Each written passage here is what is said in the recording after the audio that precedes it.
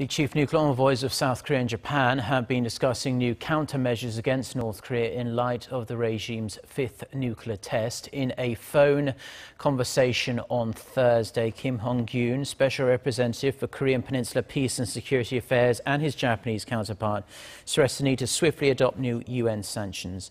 The UN Security Council has already condemned the North's latest provocations. Now, China says it welcomes new sanctions but opposes any sanctions by individuals individual countries. That's according to the Chinese Foreign Ministry statement on a phone conversation between Foreign Minister Wang Yi and his Japanese counterpart Fumio Kishida. Minister Wang argued that sanctions by individual countries may do more harm than good, likely referring to the US and Japan, who have indicated they may impose independent sanctions on Pyongyang.